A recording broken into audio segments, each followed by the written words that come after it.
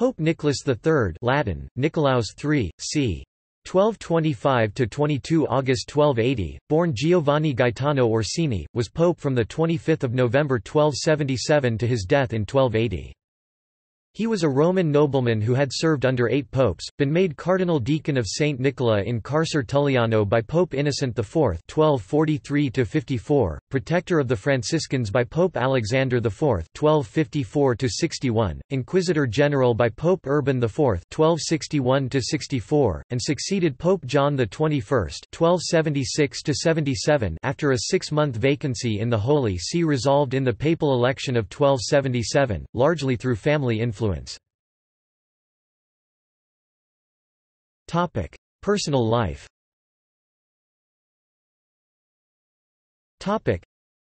the future pope, Giovanni Gaetano Orsini, was born in Rome, a member of the prominent Orsini family of Italy, the eldest son of Roman nobleman Matteo Rosso Orsini by his first wife, Perna Caetani. His father was Lord of Vicovaro, Licenza, Bardella, Cantalupo, Roccagiovine, Gallara, Fornello, Castel Sant'Angelo di Tivoli, Nettuno, Civitella, Bomarzo, San Polo and Castelfoglia, of Nerola from 1235, Lord of Mugnano, Sant'Angelo and Monterotondo, Senator of Rome 1241–1243. His brother Giordano was named Cardinal Deacon of San Eustachio by Nicholas III on 12 March 1278. His brother Gentile became lord of Mugnano, Penna, Nettuno and Pitigliano. Another brother, Matteo Rosso of Montegiordano, was senator of Rome probably in 1279, war captain of Todi, and podesta of Siena in 1281. There were five other younger brothers and two sisters. The Orsini family had already produced several popes, Stephen II (752–757), Paul I (757–767), and Celestine III (1191–1198). He did not, as some scholars used to think, study at Paris, though his nephew did. His career shows no indication that he was a legal professional or a theologian. He never became a priest, until he became pope in 1277. Cardinalate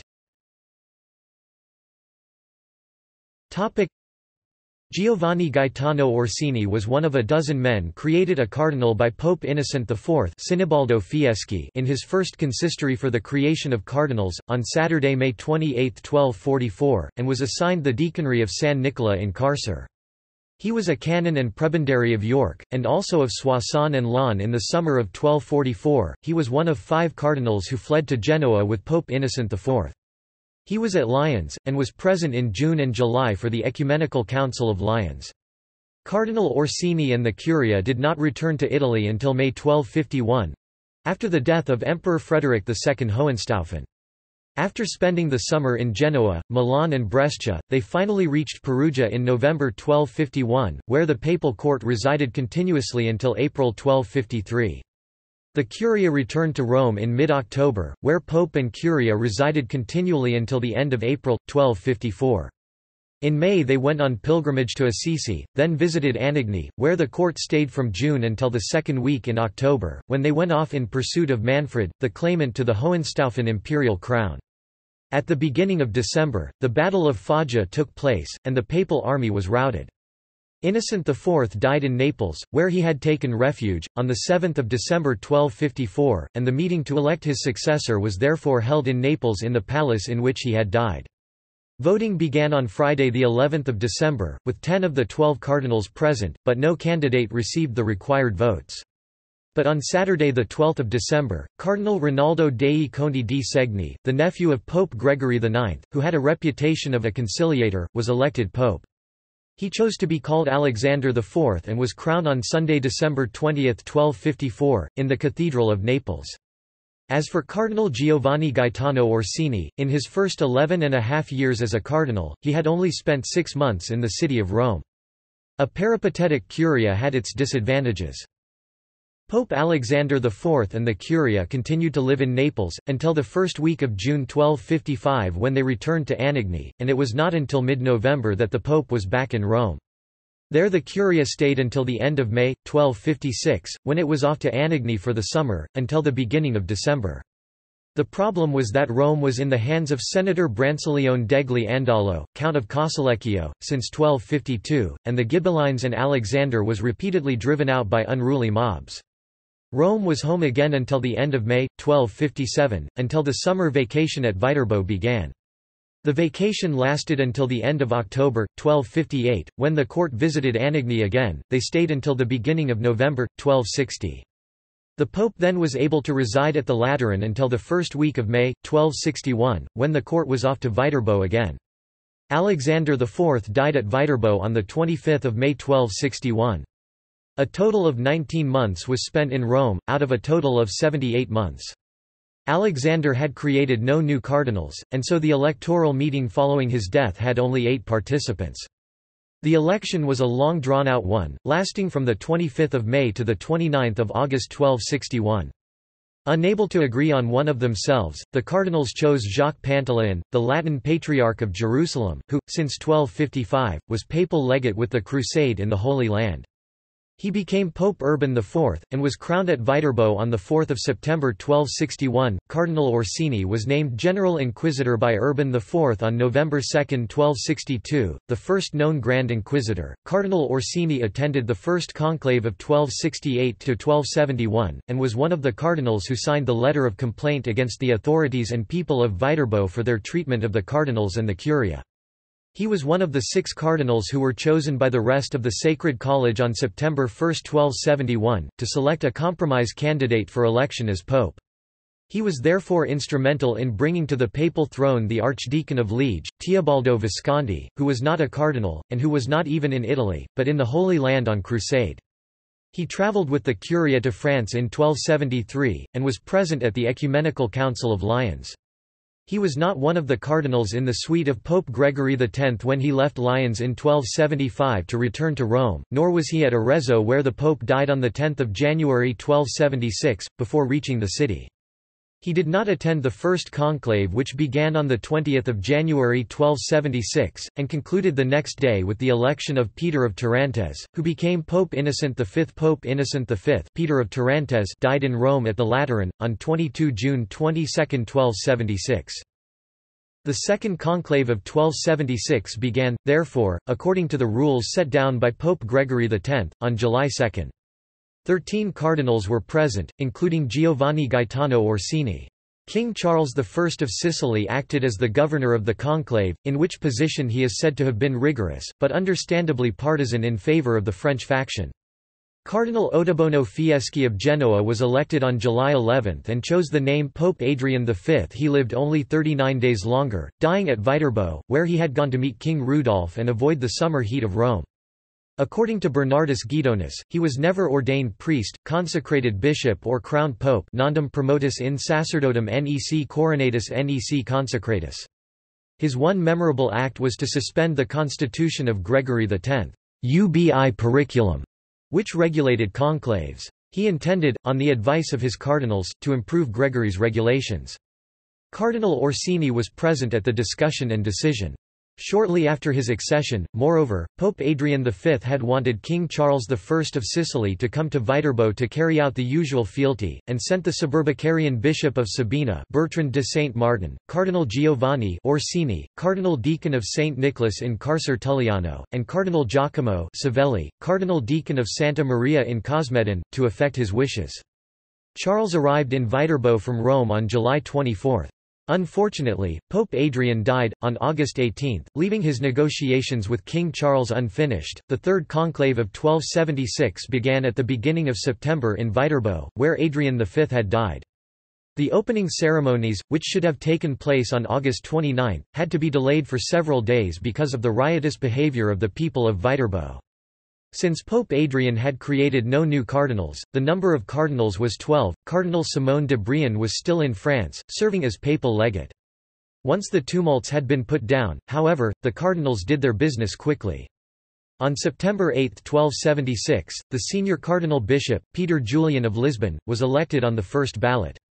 He chose to be called John XXI, and on September 20 he was crowned at the Cathedral of San Lorenzo in Viterbo by Cardinal Giovanni Caetano Orsini. Since John XXI was already a bishop, there was no ordination or consecration necessary. He was the fourth pope of 1276. On 18 October, Cardinal Giovanni Gaetano Orsini was appointed archpriest of St. Peter. S. in place of Cardinal Riccardo Annibaldi, who had recently died, and who may have been too ill to participate in the conclave or the coronation, Pope Adrian V. S suspension of the regulations of Gregory X, however imperfect they may have been, was under attack. Some critics even claimed that the cardinals who vouched for the truth of the suspension, including Cardinal Peter Julian, were liars, or that the revocation was uncanonical. These were probably the same troublemakers in the Curia who had instigated the disturbances that delayed the conclave.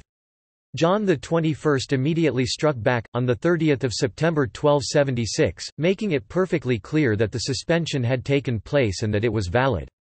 Ptolemy of Lucca states that the issue of this bull of revocation by John XXI was made at the suggestion of Cardinal Giovanni Caetano Orsini.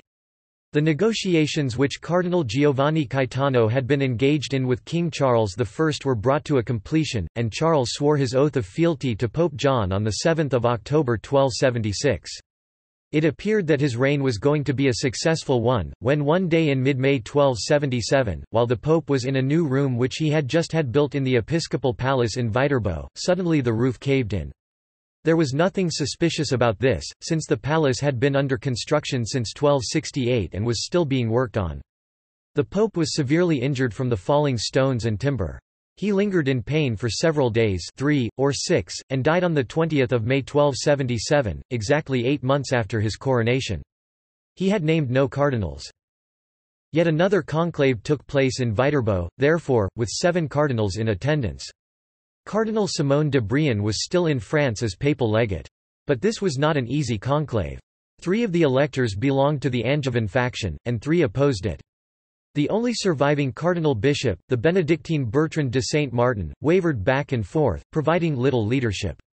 The conclave therefore went on for more than five and a half months. Finally, on the feast of S. Catherine, 25 November 1277, Cardinal Giovanni Gaetano Orsini was elected. He chose the name Nicholas III. The new pope set out immediately for Rome. He was ordained a priest on December 18, consecrated a bishop on December 19, and crowned on the feast of S. Stephen, 26 December. His election portended serious difficulties, for he was not a candidate of King Charles of Sicily, quite the contrary, he believed that King Charles had entirely too much influence in church affairs and in the operation of the Papal States. Topic: Activities as pope. Topic. Topic: Politics. Topic: The lands under direct papal rule were threatened by surrounding powers. In the second quarter of the 13th century, they were threatened by the expansionist policies of the Emperor Frederick II, who aimed to unite his inheritance in the south Sicily and southern Italy with his acquisition of the German Empire in northern Italy. He spent a great deal of time and energy attempting to gain control over Lombardy and Tuscany, which brought him into direct conflict with the papacy. Frederick was repeatedly excommunicated by one pope after another. In order to drive off the Hohenstaufen, the papacy contrived a deal with the brother of Louis IX of France, Charles of Anjou, Count of Provence, who was invited to Italy to assume the crown of Sicily and be a counterweight against the empire. He was too successful, however, and the papacy found itself in the deadly embrace of the Angevins. Nicholas' prime goal was to loosen Charles I's grip on the papacy, Rome, and the lands of the Church. Nicholas' pontificate, though brief, was marked by several important events. He greatly strengthened the papal position in Italy.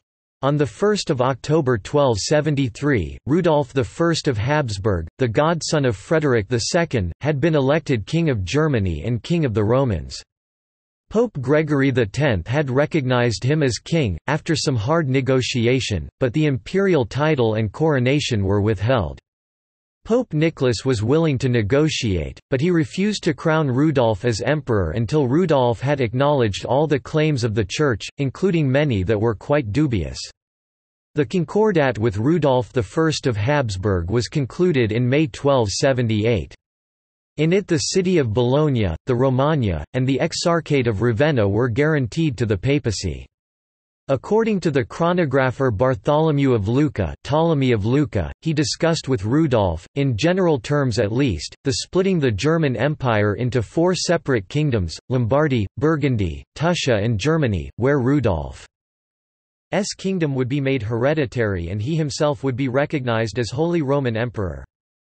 Nicholas III was even able to persuade King Charles I of Naples and Sicily to give up his position as Roman senator in 1278, at the conclusion of ten years of tenure, as well as the position of papal vicar for Tuscany. In July 1278, Nicholas III issued an epoch-making constitution for the government of Rome, Fundamenta Militantis which forbade foreigners from taking civil office. It depends for its justification not only on the biblical phrase, Tu es Petrus, et super hanc Petrum edificabo ecclesiam meam. Matthew chapter 16 verse 18, but also on the forged donations of Constantine. Topic: Ecclesiastical. Topic: Nicholas's father had been a personal friend of Francis of Assisi, and he himself had to focus much of his attention on the Franciscan order. More than 165 of his bulls and letters address the subject. Most importantly, he issued the papal bull Exiit qui seminat on 14 August 1279, to settle the strife within the order between the parties of strict and relaxed observance. He repaired the Lateran Palace and the Vatican at enormous cost, and erected a beautiful country house at Soriano nel Cimino near Viterbo, where he died of a cardiovascular event sources differ on whether it was a heart attack or a stroke. Topic: Nepotism. Topic: Nicholas III, though a man of learning noted for his strength of character, was known for his excessive nepotism. He elevated three of his closest relatives to the cardinalate and gave others important positions. This nepotism was lampooned both by Dante and in contemporary cartoons, depicting him in his fine robes with three little bears, or seti, a pun on the family name hanging on below. After the death of Nicholas III, in December, 1316, his namesake Giovanni Gaetano Orsini was appointed a cardinal by Pope John XXII. This was not, of course, a case of nepotism. John XXII, was nonetheless a nepotist, having appointed five of his nephews to the cardinalate. Cardinals Nicholas III created nine cardinals in one consistory celebrated on 12 March 1278. Ordono Alvarez, Archbishop of Braga, named Cardinal Bishop of Frascati, 21 December 1285. Bentivenga da Bentivengi, OFM, Bishop of Todi, named Cardinal Bishop of Albano, 25 March 1289. Latino Malabranca Orsini, OP, nephew of Nicholas, named Cardinal Bishop of Ostia e Velletri, 10 August 1294 Robert Kilwardby, OP, Archbishop of Canterbury, named Cardinal Bishop of Porto and S. Rufina, 12 September 1279 Gerard de Lessines, Bishop of Auxerre, named Cardinal Bishop of Palestrina, 18 July 1278 Gerardo Bianchi, named Cardinal Priest of SS. 12 Apostoli, then Cardinal Bishop of Sabina, the 12th of April 1281, the 1st of March 1302. Girolamo Massi, O Min, Minister General of the Franciscans. Named Cardinal Priest of Espudenziana, then Cardinal Bishop of Palestrina, the 12th of April 1281, and Pope Nicholas IV, the 22nd of February 1288, the 4th of April 1292. Giordano Orsini, brother of Pope Nicholas III, named Cardinal Deacon of S. Eustachio, 8 September 1287. Giacomo Colonna, named Cardinal Deacon of S. Maria in Via Lata, excommunicated and deposed on 10 May 1297, restored as Cardinal Deacon without a title on 15 December 1305, 14 August 1318. Most of these new cardinals were not of the French party, and among them were five members of religious orders. Two died before the next conclave, which was to take place on the death of Nicholas III in 1280, and the rest had to be terrorized into voting for a candidate of Charles I of Sicily. Death Pope Nicholas III was stricken ill quite unexpectedly. The Curia was residing at the time in the city of Viterbo. Pope Nicholas was at his country retreat at Castro Soriano. According to the Chronicon Parmens he was suddenly deprived of consciousness and movement privatus subito omni sensu et motu. Bartholomew's Ptolemy of Lucca says, subito factus apoplecticus, sine liquela moritor. Suddenly stricken with apoplexy, he died without speaking. Nicholas was unable to make his confession, and died at his palace at Castro Soriano, in the Diocese of Viterbo, on the 22nd of August 1280. He had been pope for two years, eight months, and 28 days. His remains were taken to Rome, where he was buried in the Vatican Basilica, in the chapel of S. Nicholas. There was an alternative story circulating, as was frequently the case in the sudden deaths of medieval and Renaissance popes that the pope had been poisoned. This can safely be discounted. Topic: Portrayal in the Inferno. Topic: Dante, in the Inferno of the Divine Comedy, talks briefly to Nicholas III, who was condemned to spend eternity in the third bolgia of the eighth circle of hell, reserved for those who committed simony, the ecclesiastical crime of paying for offices or positions in the hierarchy of a church. In Dante's story, the simoniacs are placed head first in holes, flames burning on the soles of their feet Canto 19. Nicholas was the chief sinner in these pits, which is demonstrated by the height of the flames on his feet. At first he mistakes Dante for Pope Boniface VIII. When the confusion is cleared up, Nicholas informs Dante that he foresees the damnation for simony not only of Boniface VIII, but also Clement V, an even more corrupt pope. See also. Topic. List of popes. Topic. References Topic. Topic. Bibliography Topic. Jules Gay, editor, Les Registers de Nicolas III, 1277–1280, Nicolaus III. Recueil des bulles de ce pape publiés et analyses d. Après les manuscrits originaux des Archives du Vatican 1898 Bibliothèque des Écoles Françaises d. Athènes et de Rome Sir, 2, Volume 14.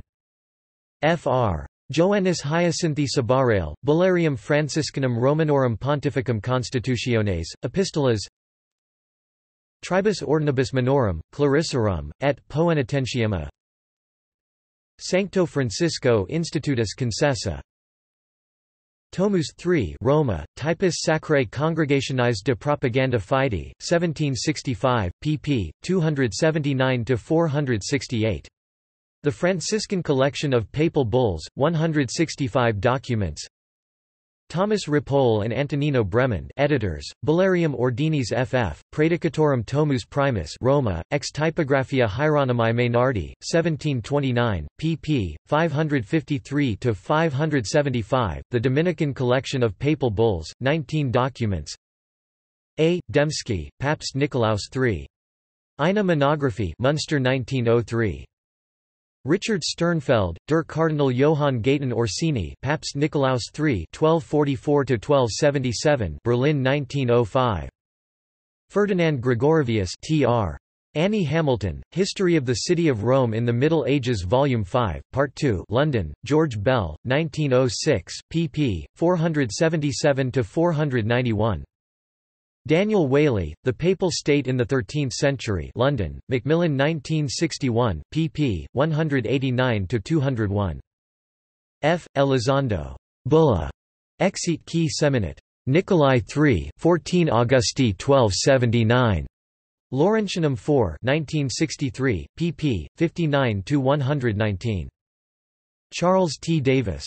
Roman Patriotism and Republican Propaganda, Ptolemy of Lucca and Pope Nicholas III.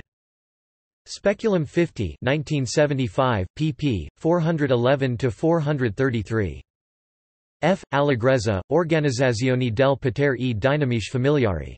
GLI Orsini dal Duecento a GLI Inizi del Quattrocento Roma 1998, pp. 15 to 6, 19–22, 36–41.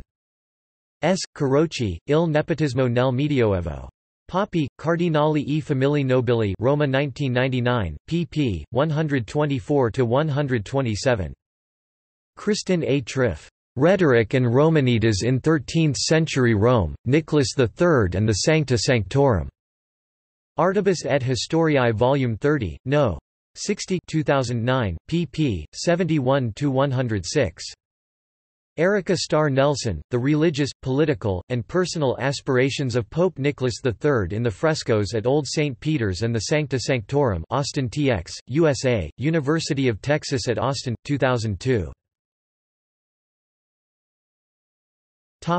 External links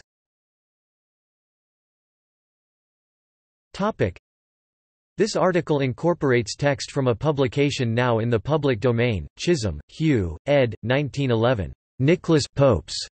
Encyclopædia Britannica. 19 11th ed. Cambridge University Press.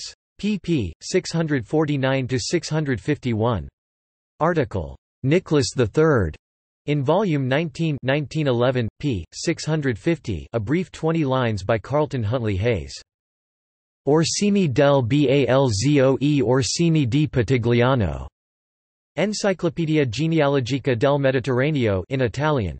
Italian Genealogical Society. Retrieved January 24, 2013. New Advent, Catholic Encyclopedia, Pope Nicholas III. Article by Nicholas Weber. Pope Nicholas III. The Catholic Encyclopedia. Volume 11 New York 1911. Papal encyclicals online, Pope Nicholas III 1277–1280 list of his encyclicals